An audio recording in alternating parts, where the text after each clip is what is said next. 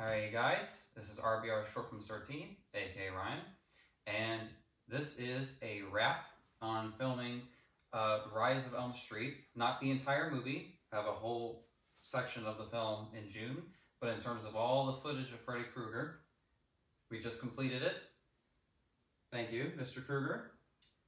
You're welcome. We don't know if he kills me or not in the film, but we will find out. Yeah, that's a wrap.